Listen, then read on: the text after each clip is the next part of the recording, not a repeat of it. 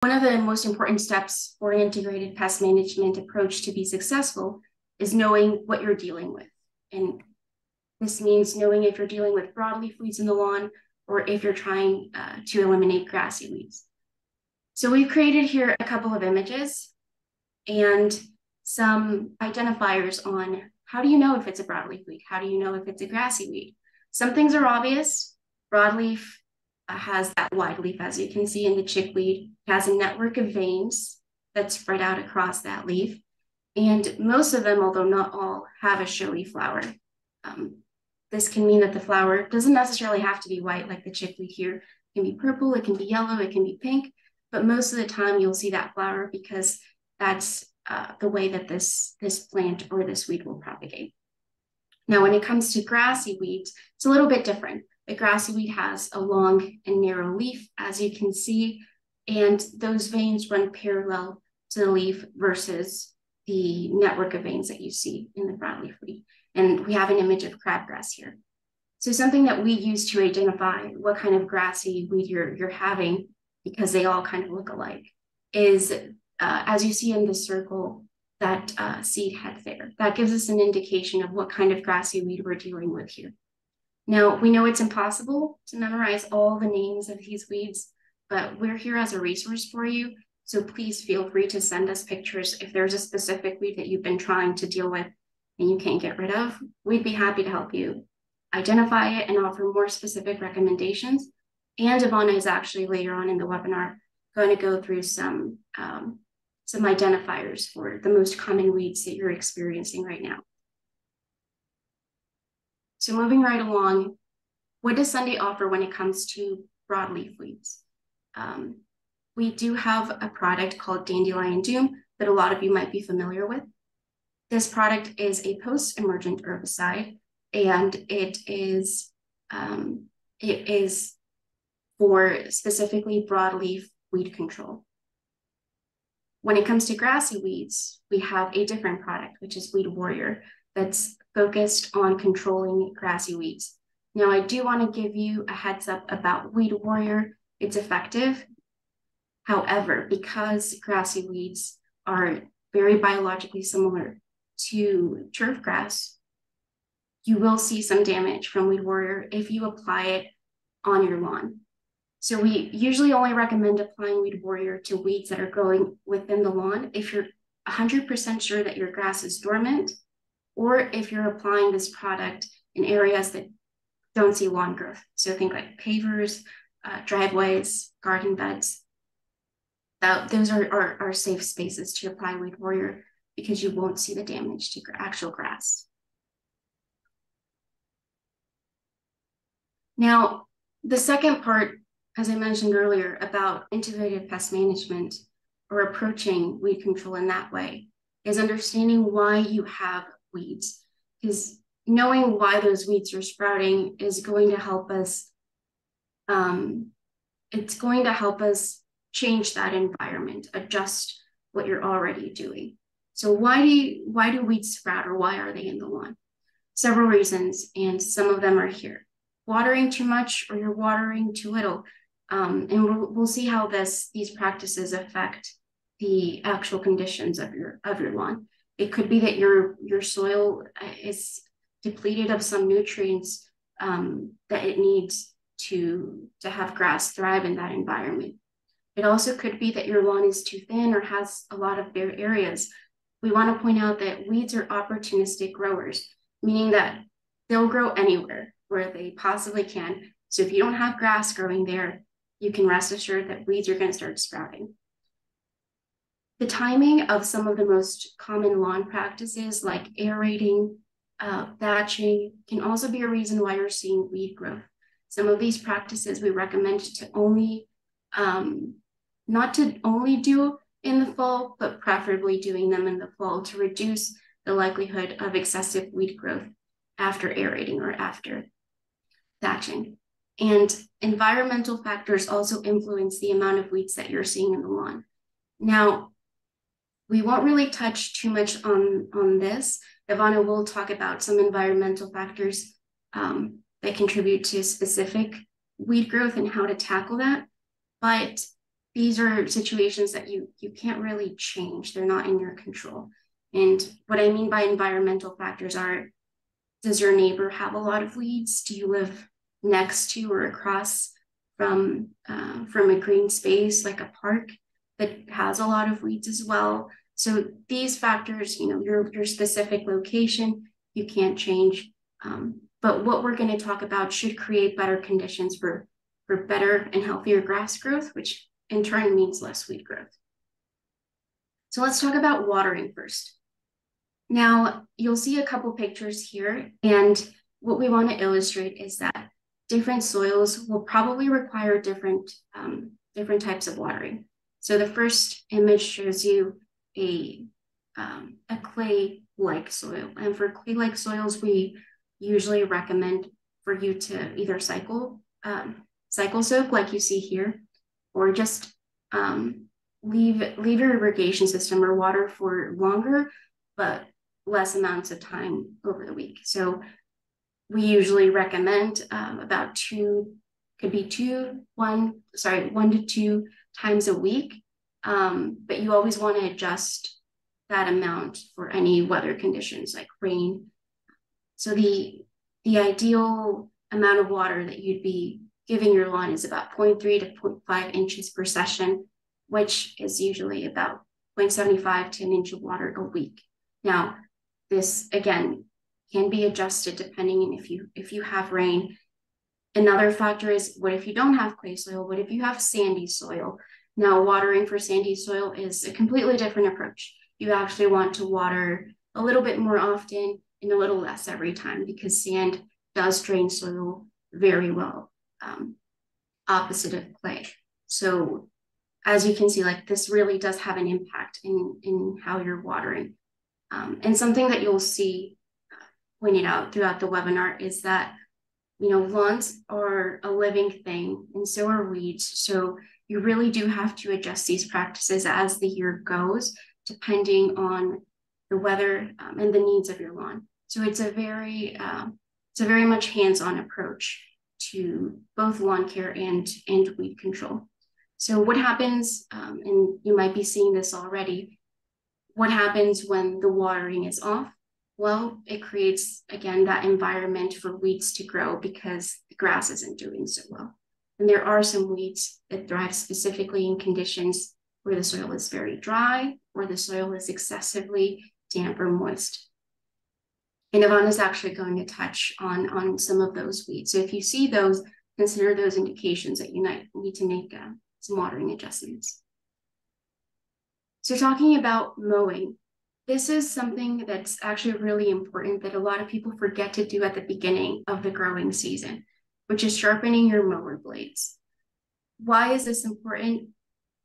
Because if you do not, if you have dual blades, you will um, damage that grass blade when you're mowing, which in turn causes the grass um, to not recover as quickly from that from that cut and leave space for a fungal, for a disease issue, which again uh, uh, stops its growing or stops it from growing to its full potential. What do we recommend um, when it comes to actual mowing practices? You want to mow high. You want to make sure you're mowing often, especially if you have a good amount of weeds, because you want to make sure that you're tackling those weeds, you're mowing over them before they go into seed or flower. And Finally, you want to make sure you bag your clippings. So you'll usually, you know, we recommend for you to, to leave those clippings on the lawn. They add organic matter. However, when you're experiencing a lot of weed growth, what you're doing when you leave those clippings is you're basically helping the weed spread by leaving those, those seeds there. So by bagging them, you're kind of reducing the possibility of uh, seed to soil contact when it comes to your weeds. And if you need a refresher on what we recommend for mowing height um, and how often do you need to mow, we actually have a mowing height chart that you see here, but it's also available on one of our shed articles that um, you'll see in your follow-up email.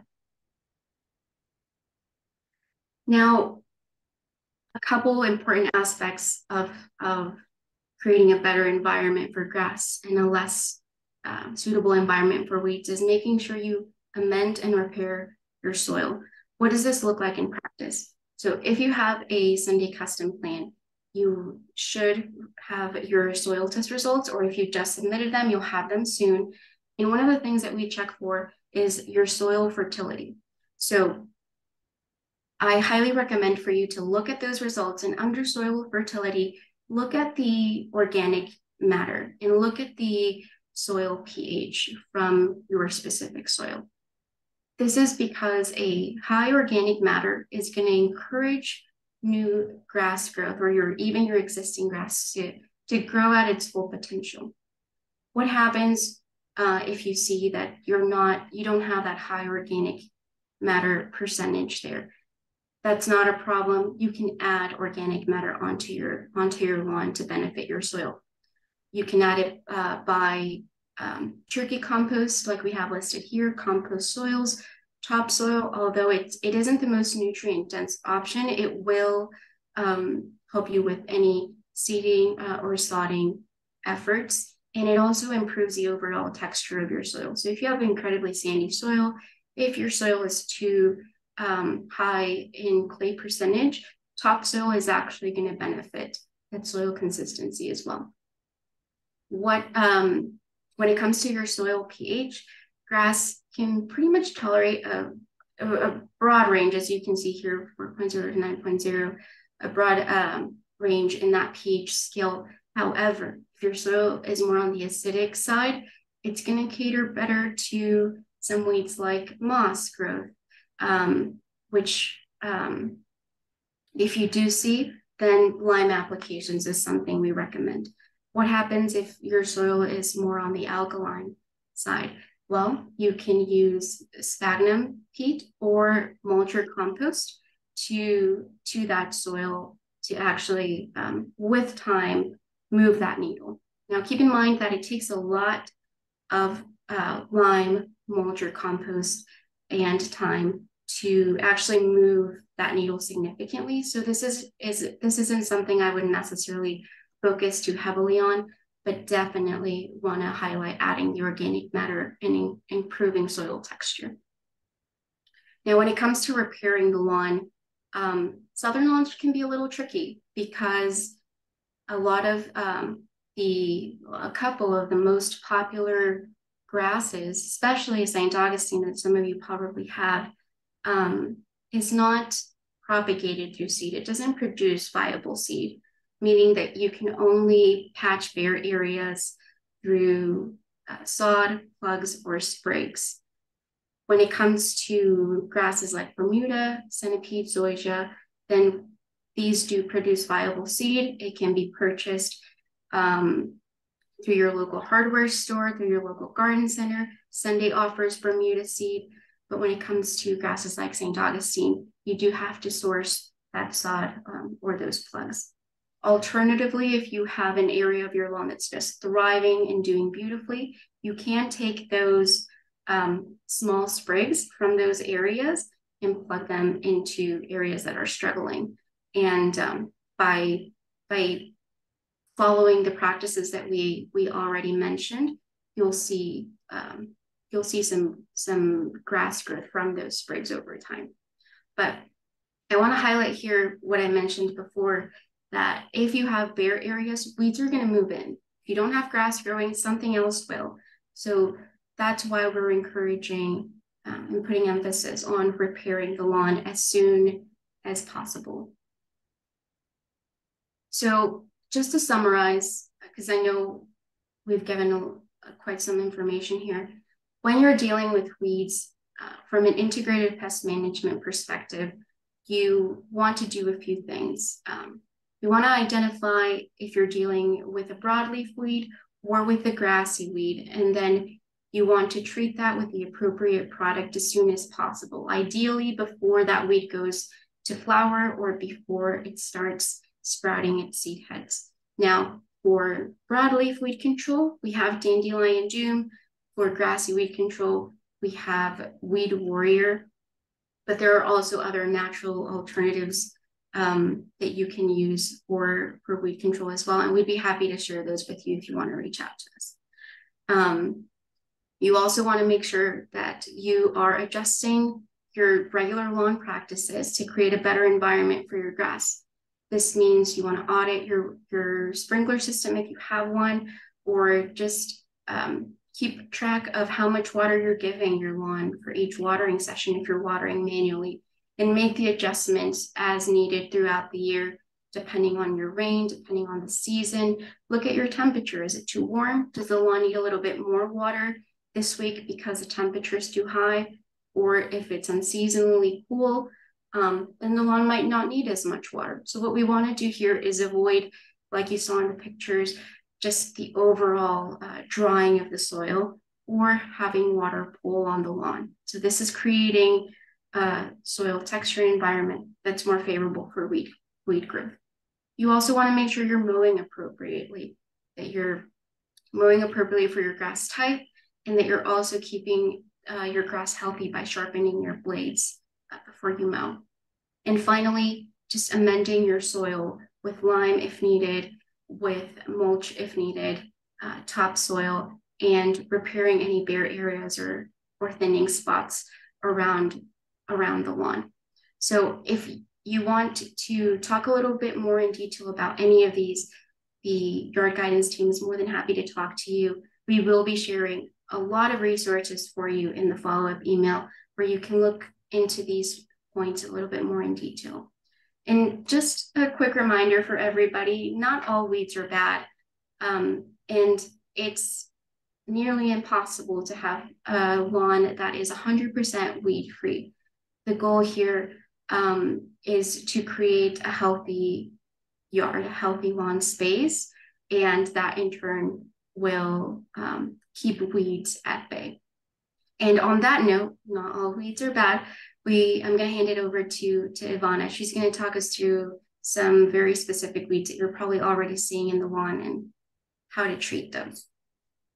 Yeah, so we're going to talk about a few common ones. Um, if there are any I don't cover over the webinar and you really want to either see covered or you want to talk about, you know, feel free to email us at webinars at getsunday.com.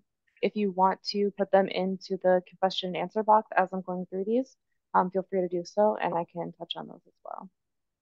So I'm going to start out with probably the most common weed ever, the dandelion. Um, you know, dandelion doom's named after it. Um, it pops up in every sort of uh, lawn. Um, it can pop up in your lawn even if there aren't any environmental conditions that are wrong. We did have a question from someone who um, is trying to kind of battle them.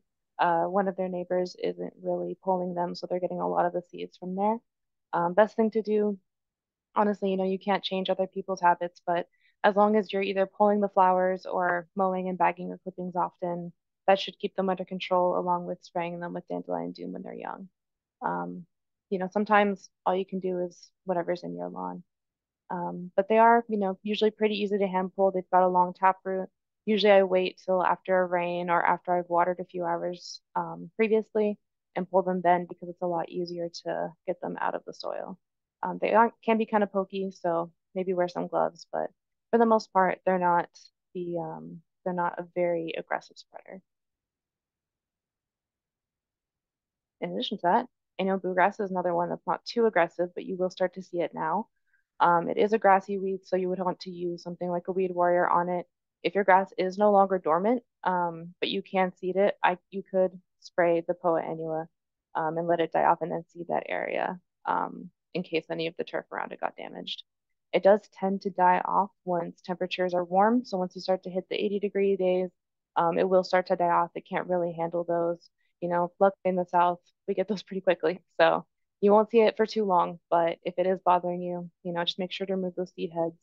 Um, you can try and spray and then overseed um, using that weed warrior. Uh, usually it'll start to look um, a little different than your grass. It is a lighter texture. Um, it's a finer textured leaf um, with like a brighter color. So they're pretty easy to spot and treat um, if you have those in your lawn. But again, they will die off once temperatures get really warm. Um, crabgrass is probably one of the worst um, spreaders here, one of the worst offenders. Uh, it does not like higher mowed lawns. Um, it wants to stay kind of low. So mowing high, probably on the higher end of the mowing chart would be beneficial. doing things, you know, mowing often to remove those seed heads, um, and then pulling it as well. And that's another thing too that I would use the weed warrior on if your grass is dormant or if you're planning to overseed. And it is quite an aggressive weed. So once you start to see it, you know, pull those seed heads off. Usually when, when I take my dogs out in the morning, I kind of walk around the lawn pulling any seed heads that I see just to make sure um, because it will grow quickly and you want to make sure to stay on top of it. Clover is actually one of my favorite weeds um, because it can be beneficial to your lawn. Um, it actually will uh, usually spread in lawns that um, maybe don't have as much nitrogen because they do use their roots to um, have a symbiotic relationship with the fungus to create its own nitrogen. So if you're having issues with having enough nitrogen in your lawn, maybe your lawn's turning a little bit light yellow, um, just think about leaving it there, letting it kind of um, help your lawn out with extra, extra nitrogen. Um, the birds love it because it attracts, you know, other insects. Bees love it. Butterflies love it. Um, you know, you'll get a little bit of a show with the little flowers that kind of look like pom-poms. Um, it does look very similar to oxalis, which is another broadleaf weed, um, but oxalis does not have those beneficial characteristics of the nitrogen inclusion, um, so you could remove it as well. I think it's cute. Maybe you don't want it. Um, both of these can be treated with dandelion doom if you just decide that they're not fitting the vibe of your lawn. Spurge is a very aggressive spreader. If you see spurge in your lawn, most likely means that it's staying a little bit dry. Maybe it's not as nutrient healthy as you want it to be. This is something that if you see a lot of spurge in your lawn year after year, I would recommend top dressing, usually in the spring, um, just to make sure you're incorporating enough organic matter and enough nutrients. Spurge loves heat, loves nutrient poor soils, loves drought. You just want to make sure um, to kind of make that area a better place for your grass. Um, it is easy to hand pull. It's got a central root, so um, the whole thing will come up if you pull it. You just want to make sure that you wear gloves because it is part of the euphorbia family and does have that toxic sap. Not everybody reacts to it, but some people will get, you know, a, a red rash on their hands. It's uncomfortable. Just wear gloves just in case. Um, and it is something you want to keep on top of. It has a lot of very small seeds around the leaves, um, and they will spread very quickly. Um, if you start to see it in your lawn, you can use our Weed Warrior. Um, we will also have a kind of homemade um, weed solution in the follow-up email that you can use as well. It is also very effective on spurge. Um, but this is something that once you see it, you want to stay on top of it. You want to make sure that it's taken care of because it spreads very quickly. Nutsedge is kind of the opposite problem of spurge. Um, you'll start to see it if you have a very frequently moist lawn so if it's kind of like a compacted soil that stays really wet after, days after you've watered, or if you water frequently, you'll start to see it come up.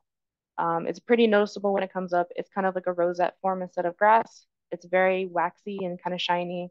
It's a uh, very light green, so it stays up. It sticks out very well. This is not something I would recommend hand pulling because the roots do have what are called bulblets attached to them. Once you pull that weed, it will make two more, like a hydra. So you just want to make sure when you're trying to get rid of it.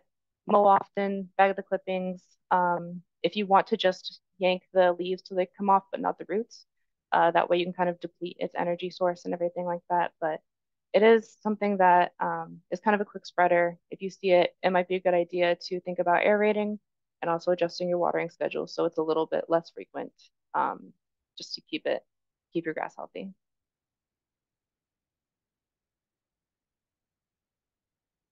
Sand spurs are one of my favorites. Um, you may hear them called stickers in Texas. Um, they can be a huge problem. They have those horrible little burrs on them. They get stuck to your clothes. They get stuck to your dog. You're sitting on the couch. You feel one on your shoe. You know, they're horrible. Um, they really prefer a nutrient depleted soil, um, one that is a little bit more drought um, leaning. So you want to make sure, you know, you're on a good watering schedule. You want to make sure you're fertilizing. Top dressing is another thing that'll really help kind of keep these from coming back. Um, you do want to make sure you're bagging, you know, mowing often.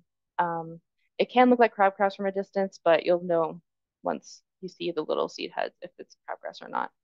Um, if you are battling these like crazy and you don't want to walk in your lawn because they're painful and horrible, um, you can throw a wool blanket. I've done this before. Throw a wool blanket over that area, pull it really slowly, and you should get the majority of the stickers off your lawn.